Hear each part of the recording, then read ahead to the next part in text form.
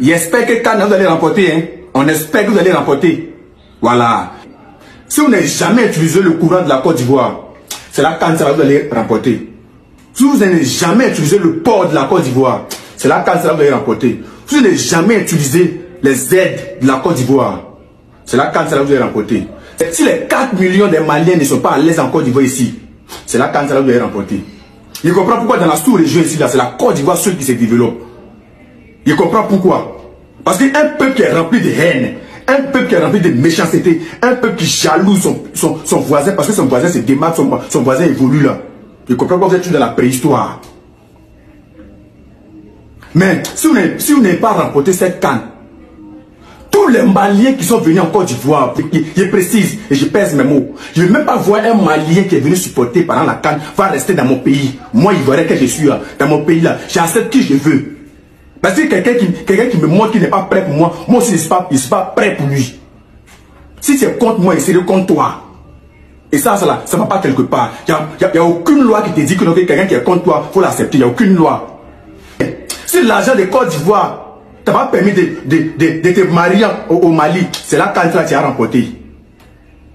Si l'argent, si le public, si le public de Côte d'Ivoire t'a pas nourri au Mali, c'est là quand tu as remporté. Si abattoir de Côte d'Ivoire t'a pas nourri au Mali, c'est là quand tu as remporté. Si votre tigre de Côte d'Ivoire t'a pas nourri au Mali, c'est là quand tu as remporté. Je ne comprends pourquoi la Côte d'Ivoire ici dans la sous-région, c'est la Côte d'Ivoire seule qui se développe.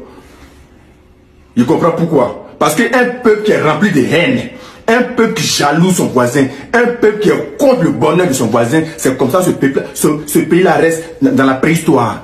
Je comprends pourquoi vous êtes toujours pauvre. Je comprends pourquoi vous êtes toujours dans la préhistoire. Je comprends pourquoi le Mali n'évolue jamais. Parce qu'ils sont contre la Côte d'Ivoire. Ils sont jaloux de la Côte d'Ivoire. Ils ne veulent pas l'évolution de la Côte d'Ivoire. Ils ne veulent pas le bonheur de la Côte d'Ivoire. Vous avez vu, non? Quand on vous dit, quand on vous dit les gens sont jaloux de nous, dans la sous-région, eux tous sont jaloux de nous. Eux tous, ils sont jaloux de nous. Vous êtes jaloux de nous parce que la Côte d'Ivoire se développe. Vous êtes jaloux de nous parce que nous on fait tout pour être évolué. Nous on fait tout pour arranger notre pays. C'est pas pas nous on vous a dit de rester dans la préhistoire. Donc si vous prenez politique maintenant le foot, restez toujours dans, la politique, hein. ne changez jamais, ne vous trompez jamais. Et ne comptez plus sur la Côte d'Ivoire. Ne comptez plus sur le courant de la Côte d'Ivoire. Ne comptez plus sur la nourriture de la Côte d'Ivoire. Ne comptez plus sur l'eau de la Côte d'Ivoire. Ne comptez plus sur les sels. Tous, tous les produits de la Côte d'Ivoire, ne comptez plus dessus.